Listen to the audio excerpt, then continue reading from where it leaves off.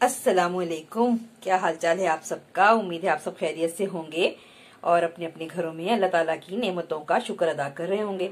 अच्छा आज मैं आपके लिए लेकर आई हूँ सरसों का साग। हमारे मुल्क में ताज़ा सब्ज़ियाँ बहुत अच्छी आती हैं और आजकल सरसों का साग जो है वो बहुत इन है। तो मैंने सोचा क्यों ना आज सरसों का साग पकाया जाए। तो ये सरसों का साग मैंने लिया है। ये एक किलो के करीब इसकी ये एक गट्ठी है सरसों के साग की और ये इसमें मैंने ये एक बंच के करीब ये मैंने एक छोटी गठी समझ लें आप, ये मैंने पालक लिया है और मैंने इसको सबको साफ़ कर लिया है। इसकी जो ये मोटी मोटी ये आपके सामने ये इसकी जो ये डंडियाँ हैं ये इसमें से सिर्फ़ एक एक इंच का जो पीस जो बहुत ज़्यादा मोटा था वो मैंने आ, काट दिया है और इसको सबको साफ़ कर लिया है। इसी तरह मैंने पालक को भी साफ़ कर लिया है।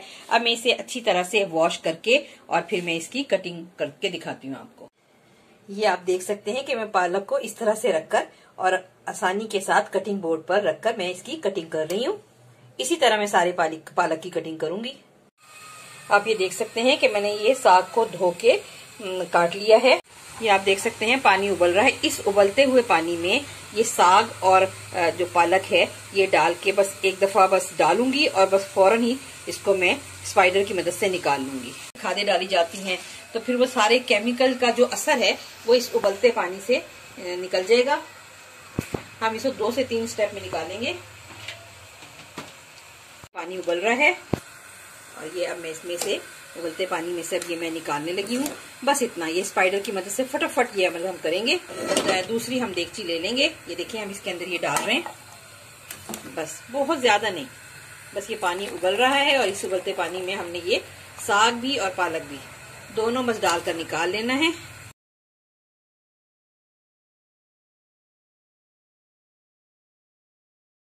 साथ ही हम दूसरी देगची में फटाफट डाल रहे हैं। और देखिए, मैंने पहले से गर्म कर ली है। इसके नीचे मैंने इसको, पहले से इसको गर्म कर लिया है। अब हम इस, ये जो मैंने डाल दिया है, इसके अंदर, वैसे तो पालक में खुद भी पानी बहुत अच्छा होता है। अभी भी देखें, ये आपके सामने, ये मैंने हालाँकि, ये मैंने स्पाइडर से डाला है, लेकिन फिर भी इसके अंदर देखें, ये पानी छोड़ रहे हैं। पालक के पत्ते आप देख सकते हैं। लेकिन फिर भी हम इसके अंदर कम अज कम एक से डेढ़ गिलास हम पानी डालेंगे। वो इसलिए कि हमें इसको कम अज कम दो से तीन घंटे धीमी आँच पे बनाना है। अच्छा इसके अंदर अब मैं इसमें ये सात से आठ हरी मिर्चें हैं ये डालने लगी हूँ। मोटी मोटी मैंने काट ली हैं ये से मैंने हरी मिर्चें डाल दी हैं।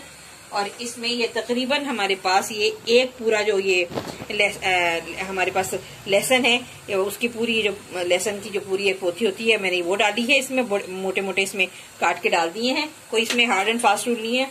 और इसके अंदर एक टी स्पून के करीब हम इसमें आम जो हमारे पास चक्की का नमक है, वो हम डालेंगे। इसलिए कम डाल रही हूँ क्योंकि पालक और साग में अपना भी नमक होता है। साग में हम, जब हमने नमक और हरी मिर्ची और लहसुन डाल दिया तो उसके बाद एक टेबल स्पून हमें रेड चिल्ली और हाफ़ टी स्पून हम इसमें हल्दी भी डाल देंगे। और अब इसको, अब हम स्लो आँच पे दो से तीन घंटे के लिए हम इसे पकने के लिए रख देंगे। थोड़ा सा मैं मिक्स कर दूँ इसमें।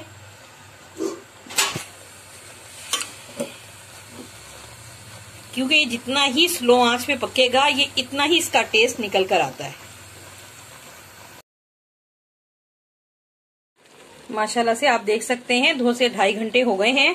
और ये अब देखें, ये जो हमने ये इसमें लहसुन डाला था, वो भी देखें हाथ से आगे आगे जा रहा है। इसका मतलब ये कितना अच्छी तरीके से ये पक चुका है। इसी तरह जो ये, इसकी जो ये साग की जो डंडियाँ कह लें या आप इसके ये जो इसकी ये देख लें, ये जो हमने कटिंग की थी ये आप देख सकते हैं कि किस कदर की ये देखें। मैं अगर आपको हाथ से दिखाऊँ तो ये ये देखें, ये किस कदर की नरम हो चुकी है, ये देख लें, हाथ से जा रही हैं आगे आगे।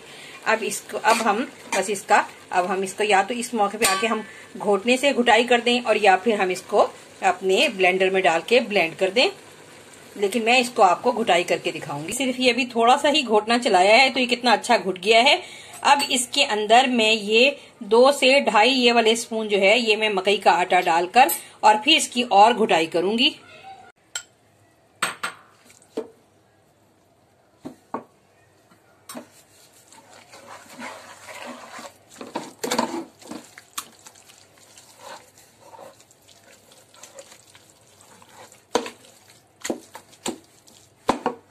एक और डलेगा इसके अंदर।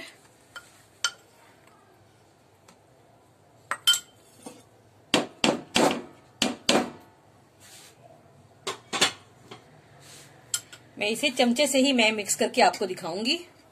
जिस टाइम मैंने इसमें मकई का आटा डाला है और उसके बाद मैंने इसकी घुटाई की है। कम से कम दो से तीन मिनट घुटाई करने के बाद और ज़्यादा।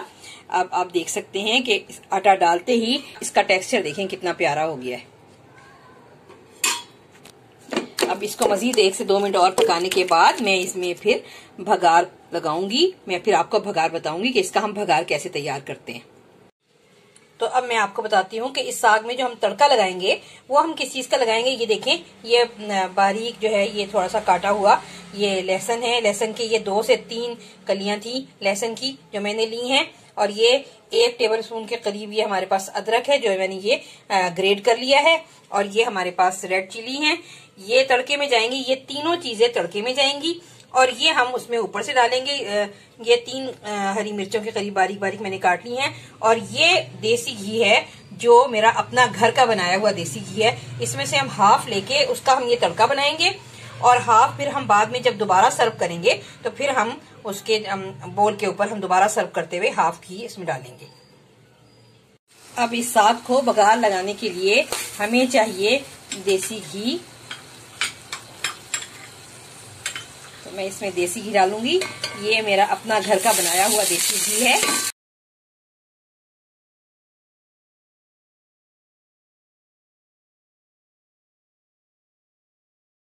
अब लहसुन की फ्राई होते ही हम इसमें अदरक डाल रहे हैं, जो हमने ग्रेट किया हुआ अदरक है। और साथ ही हम इसमें साबुत मिर्चे डाल देंगे।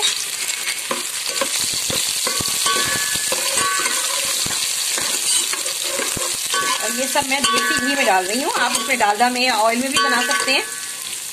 अब इस बाज़ार में मैं ये तैयार किया हुआ साग डाल रही हूँ।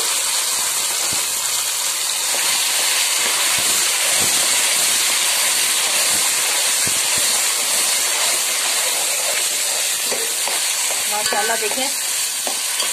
इसमें साग में डलते ही ऐसी प्यारी खुशबू छोड़नी शुरू कर दी है। अच्छा मैं आपको ये बताऊँ कि जब हमने साग डालना है, साग को इसमें भगार में डालना है तो फिर हमने आज जो है, सेम है चूल्हे में, कल इसको हमने मीडियम से लो की तरफ़ ही रखना है। आप ये देख सकते हैं कि जो साग है, ये क्योंकि हमने ज़्यादा देर बनाया है तो ये इसने ज़्यादा, इसको मैंने बहुत ज़्यादा जो घुटाई जैसे की है, बस हल्की सी घुटाई की है, ज़्यादा भी घुटाई नहीं की है। आपके सामने ही वो इतनी स्लो आँच पे पक्का है और वो खुद इतना अच्छा ज़्यादा मेरे लिए आसान हो गया है। मतलब ब्लेंडर की ज़रूरत ही नहीं पड़ी और ये कितना अच्छा बन गया है। अब मैं आपको इसे डिश आउट करके दिखाऊँगी। ये आप देख सकते हैं, बेहतरीन साग तैयार है और साग की पहचान ये है कि देखिए, एक तो ये स्मूथ बहुत हो गया है और ऊपर से इसमें पानी नहीं रहा बिल्कुल भी। अब आपके सामने है अब इसके अंदर बस आखिर में, सबसे आखिर में मैं इसमें, अगर आप चाहें तो अगर नहीं चाहते तो कोई बात नहीं, लेकिन इसमें अगर चाहें तो इसमें कुछ हरी मिर्चें थोड़ी सी स्प्रिंकल कर दें। और फिर देखें इसका टेस्ट कितना उभर के आता है, और बस फिर थोड़ी देर के लिए फिर ढकना लगा दें। और फिर मैं इसको अभी मैं आपको सर्व करके दिखाती हूँ। हालाँकि मैंने इसको बगार लगा दी थी, लेकिन जब हम सर्व करते हैं तो फिर दोबारा से एक दफ़ा देसी घी का ये हम तड़का भी लगा लेते हैं। देखिए, माशाल्लाह से किस कदर खूबसूरत ये बना है।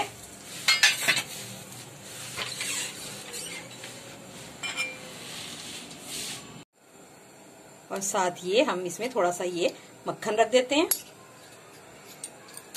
माशाल्लाह से देखें किस कदर ये खूबसूरत बना है। और देखें इस, ये क्योंकि साग जो है, इसके अंदर घी या देसी घी ज़्यादा ही पड़ता है। तो इसको आप चीट डे पे रखें।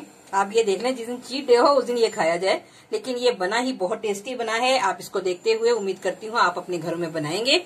और मुझे दुआ में याद रखेंगे। और मेरे चैनल को लाइक करेंगे सब्सक्राइब करें शेयर करें। हूँ नेक्स्ट वीडियो के साथ। अल्लाह हाफिज।